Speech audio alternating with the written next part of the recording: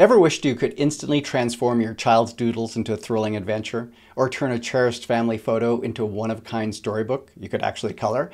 Well, get ready to be amazed. Today, I'm diving into the incredible world of Gemini Storybook, a fantastic feature in Google's Gemini that lets you create personalized illustrated stories using the power of AI. Hi, I'm Jamie and welcome to Teacher's Tech. I've been playing around with Gemini Storybook and I'm absolutely blown away by its potential. It can take your text prompts, your photos, and even your artwork and weave them into a beautiful narrated storybook with a huge variety of illustration styles. Today I'm going to walk you through four unique examples showcasing just how versatile and fun this tool can be. We'll be exploring features like uploading your own media, choosing from different illustration styles, and even creating a printable coloring book. So let's jump right in and unleash our imaginations. For our first demo, we're tapping into the magic of personalization. We're going to take a drawing my son made of his favorite toy, this beat up old red truck he calls Rusty, and turn it into an amazing adventure. This perfectly showcases how Gemini Storybook lets you upload your media to fuel your stories. Let's go ahead and take the picture I just showed you of Rusty. I have it right here on my desktop. I'm just going to drag this in. And now I'm going to prompt it. You don't have to give it a big detailed prompt, but I like giving a little bit more information to get closer to what I'm looking for. So I said, create a storybook. You need to tell it to make a storybook so it knows what it's doing. Create a storybook about a small old red toy truck named Rusty based on the uploaded drawing, who enters the great toy race against the bigger, newer monster trucks. He uses his small size and cleverness to win, and I said make the illustration style in claymation. You don't have to specify all of that, but I kind of am looking for something in claymation. I'm going to go ahead and submit this. And what you're going to see, since I told it to create a storybook, you're going to see that down here, it's going to come up and working on creating the storybook. Remember to prompt it to do so. So you notice now we're open in Canvas part where it's created this storybook and look, we have claymation. Well, this truck looks a little familiar here and uh, Rusty's Great Race. I'm going to click on it and notice it just turns the page. So we definitely have claymation here. So Rusty, the little red truck, wasn't the biggest or shiniest toy in the playroom, but he had the biggest heart. One day, a bright poster appeared. We kind of get the idea here. So I can go and continue. It's a little bit longer on that page, but as I click through, I'm just clicking on the page. You notice how it even uh, Uh, bends up as I hover over if I want to go backwards. Some other options, you can even listen to this. So if I click listen, you're going to hear that it will start reading. It's you just loading. Boomed a deep voice. A giant, shiny blue monster truck named Mauler rolled up. I'm going to go ahead and pause that. I think you understand what's happening. If you drop down, you can pick a lower pitched voice uh, on it, and you can see how you can go to full screen, start from beginning. Some other things you can do, you can share this as well. So if I go ahead and click share storybook, uh, you can see how I can go right to LinkedIn or Facebook or X or Reddit, but I can copy this link and I can go ahead and share this with somebody else and they can open up the storybook I just created. Now I want to point out uh, with this too, I'm just going to hit the exit the full screen. You can't go through and edit any of the words in this. You'd have to recreate the storybook here. But so this is our first example. Let's do a few more here. Next up, we're going to explore how Gemini Storybook can be used for more than just fun tales. Let's tackle a common childhood experience, getting glasses for the first time.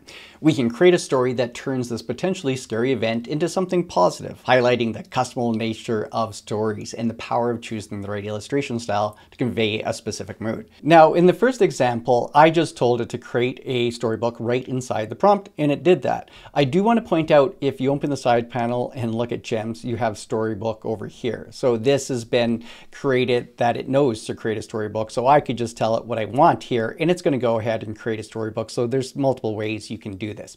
All right, let's move on to our next example. All right, let's do the prompt from within the gem here. Write a story about a shy little kitten named Jasper who is worried about getting glasses. When he puts them on, he discovers he can see wonders in the world, like patterns on butterfly wings and smiles on friends' faces.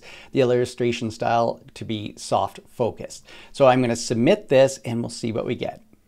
All right, again, less than a minute this took. Let's take a quick look at here. Jasper the kitten was a very shy little fellow. He liked to keep his eyes down, watching his paws as he walked. He worried if he looked up, the world would be too big and bright and blurry. So we have him getting the glasses. It looks like we have the name brought in. I want to look at when he gets the glasses. Oh, there's the butterfly. Remember I mentioned the butterfly? So I just wanted to point out if there's specific things that, that you want to make sure that you put it in your prompt. So we can see all the ways that it's exploring. It's in a very soft, friendly tone to this, exactly what I asked it to create. Notice that these are 10 pages long. All these books will be in that, that range of 10 pages. Now let's dive into how Gemini Storybook can be a fantastic learning tool. We're going to take a somewhat complex topic and turn it into an engaging story for a young child. We'll be uploading pictures and a PDF full of information. We'll see again how choosing a vibrant illustration style can make learning fun and memorable.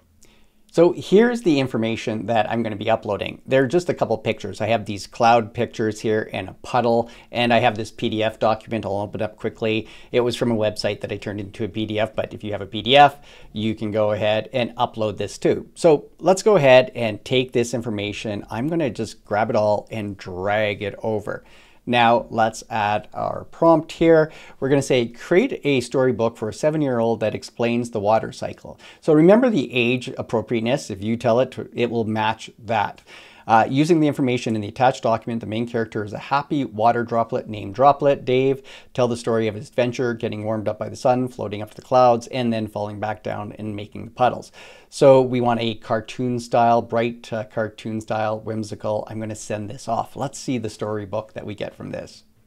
Now, right away, I have to give it a little credit for being honest here. It says, I hope you and your child enjoy it. The story may not be 100% faithful to any of the uploaded files or image.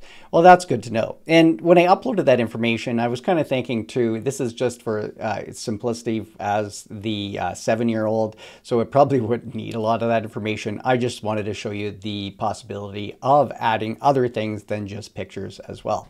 But let's take a look. We have Droplet Dave here. We have our story. Um, as it goes through, the sun is heating it up.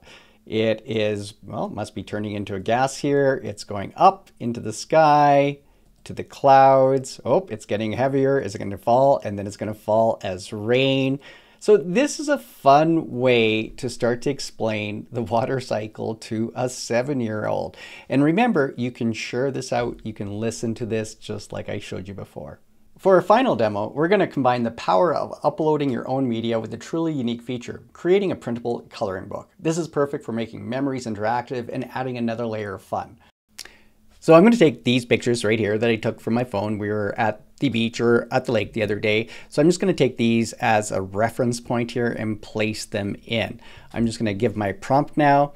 Based on this photo of a family at the beach, create a storybook about finding them, uh, finding a mysterious bottle washed up on the shore with a secret message inside. So I'm really kind of curious, will it take these pictures and start to frame around this?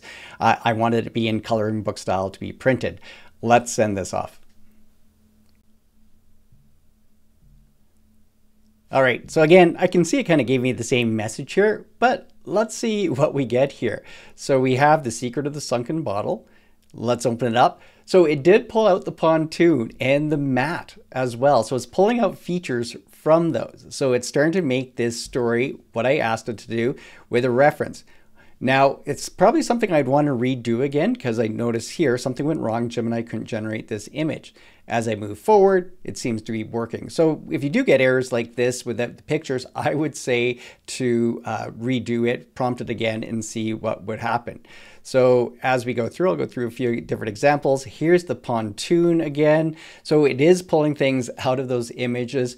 If we go up to here to print, we can prepare our storybook. So as soon as I click this, you notice it's preparing it. And now you can see it popped up with print features to it where I can save it as a PDF or I can uh, hit print from here. So you have some options if you want to use this as a coloring book as a fun interactive way, give it a try. What kind of stories will you create? I'd love to hear your ideas in the comments below. If you've enjoyed this video and want to see more creative tech explorations, don't forget to give this video a thumbs up and subscribe to the channel. Thanks so much for watching this week. I'll see you next time with more tech tips and tutorials.